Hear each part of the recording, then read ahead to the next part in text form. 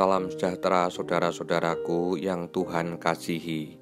Senang dapat menjumpai saudara kembali dalam program renungan pada hari ini. Firman Tuhan kali ini dinyatakan dalam Injil Lukas pasal 24 ayat 46 dan 47. Demikian kata Yesus.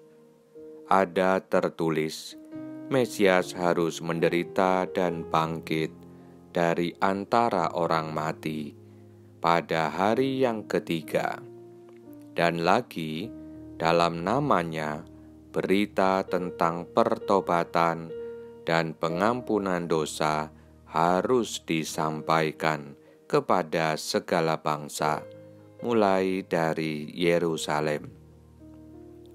Topik kita kali ini berbunyi kabar baik adalah berita positif, bukan negatif.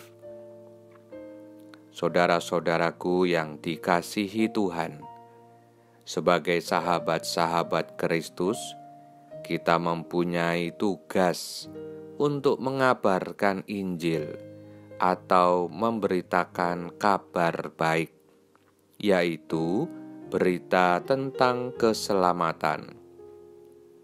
Akan tetapi, sekarang ini yang terjadi, beritanya cenderung miring atau negatif.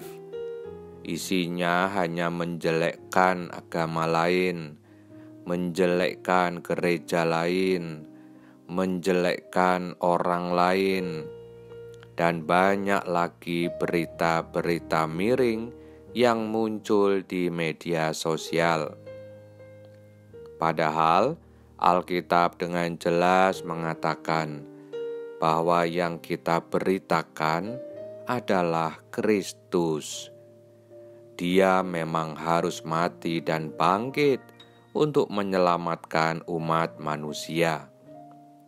Dan di dalam namanya, berita tentang pertobatan dan pengampunan dosa harus disampaikan kepada segala bangsa.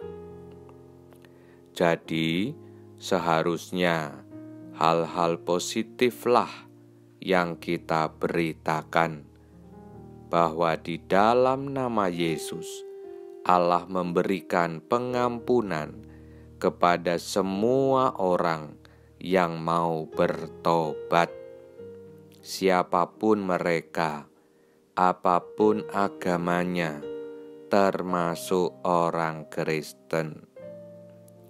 Jangan kira kalau sudah jadi orang Kristen lalu tidak perlu bertobat.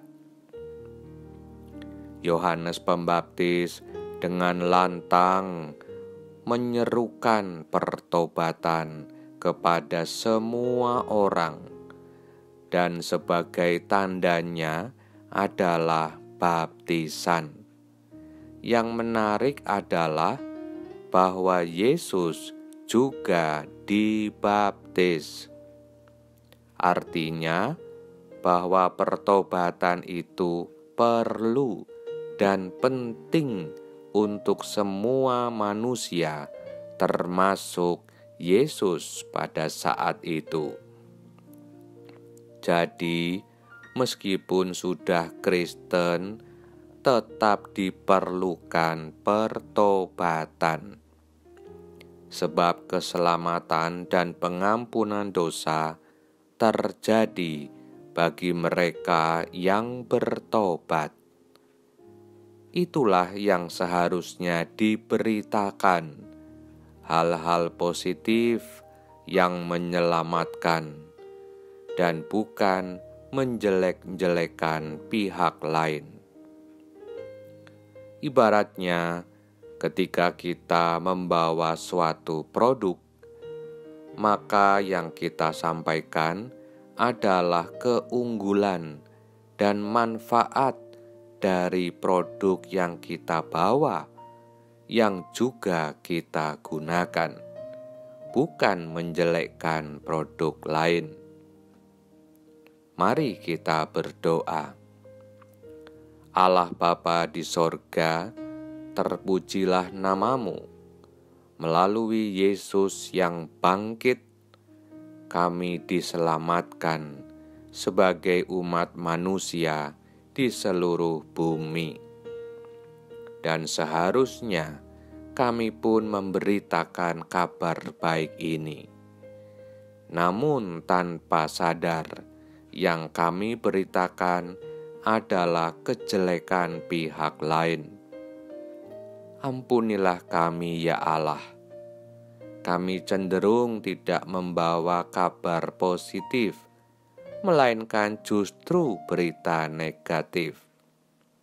Sadarkanlah kami, ya Tuhan, baharuilah hidup kami, agar apa yang kami sampaikan adalah berita keselamatan yang Engkau berikan dan sediakan bagi seluruh umat manusia.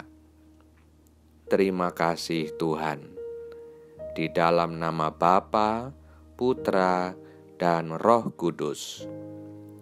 Engkau memberkati kami dan keluarga kami. Engkau memberkati pekerjaan kami, usaha kami, pelayanan kami, dan segala aktivitas yang kami lakukan. Engkau memberkati kesehatan tubuh kami juga apa yang kami makan dan minum. Engkau memberkati masa depan kami.